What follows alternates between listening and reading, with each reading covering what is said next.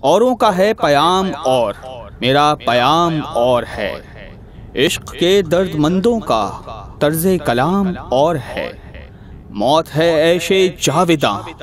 ذوق طلب اگر نہ ہو۔ کردش آدمی ہے اور کردش جام اور ہے۔ شاعر مشرق علامہ اقبال کے یوم وفات پر خصوصی پروگرام نوائے اقبال ابسار احمد کے ساتھ۔ اکیس اپریل انیس سو اڑتیس، جب ملت اسلامیہ کا اقبال قوم کو اقبال مندی کا راستہ دکھا کر راہی عدم ہو گیا۔ مگر اس کی نواؤں اور نالوں نے ملت اسلامیہ ہند کو وہ راستہ ضرور دکھا دیا، جس نے اس کی وفات کے صرف نو برس بعد اس خواب کو شرمندہ تعبیر کر دیا، جسے اس وقت کے دانشور بھی ناممکن سمجھتے تھے۔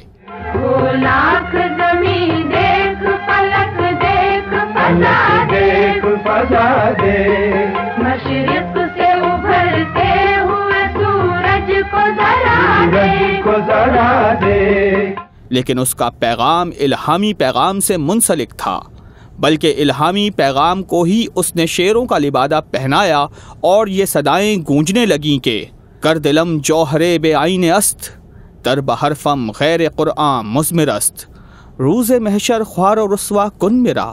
بے نصیب اسپوسائے پاکن میرا۔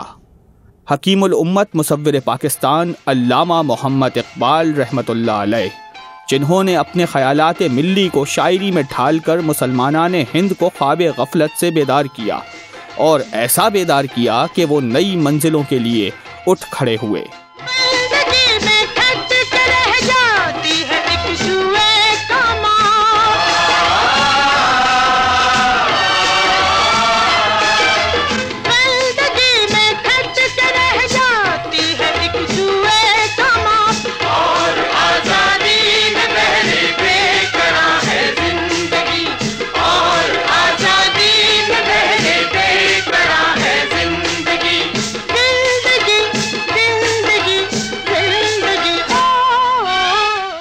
اقبال نے زمانے کو پہچانتے ہوئے ہندوستان کے مسلمانوں کو ان کی خودی پہچاننے کی تلقین کی۔ خودی کیا ہے؟ خودی ایک راز ہے۔ خودی ایک عزم سمیم ہے۔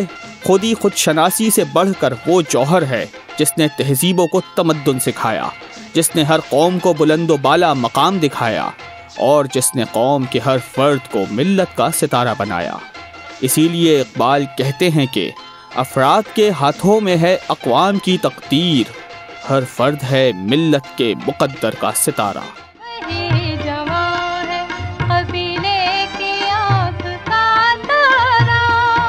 شباب جس کا ہے ضرب ہے کاری۔ وہی جوان ہے۔ اقبال آج کے دن اپنا پیغام سنانے کے بعد راہ جنت چلے گئے۔ لیکن ان کا پیغام ہر دور میں مسلمانہ نے پاکستان کے لیے مشعل راہ بنا رہا۔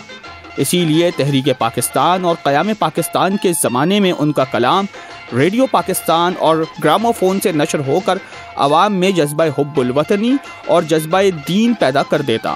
یہی کلام اقبال ہمارے ابتدائی ملی نغمات بھی بنے۔ کیونکہ اقبال کا پیغام ملی پیغام ہے اور وہ ہمارے قومی شاعر ہیں، تو قومی شاعر کی شاعری یقیناً قومی شاعری ہی کہلائے گی۔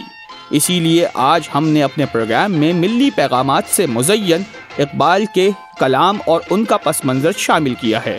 تو آئیے سنتے ہیں ریڈیو پاکستان کراچی کا تیار کردہ یہ نایاب ترین کلام اقبال، جو بانگے درا میں شامل ان کی شہرہ آفاق نظم طلوع اسلام کا پہلا حصہ ہے۔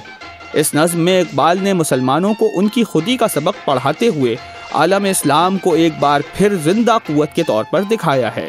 یہ نظم انیس سو بہتر کو ریڈیو پاکستان کراچی پر بنگال سے آئی ہوئی نئی آرٹسٹ منی بیگم نے پیش کی۔ اس وقت چونکہ پاکستان کے ساتھ سقوط مشرقی پاکستان کا سانحہ گزر چکا تھا، اسی لیے اقبال کا یہ پیغام ٹوٹے ہوئے دلوں میں ایک بار پھر اعتماد پیدا کرتے ہوئے بتا رہا تھا کہ دلیل صبح روشن ہے، ستاروں کی تنک تابی افق سے آفتاب ابھرا، کیا دورے گرا خوابی۔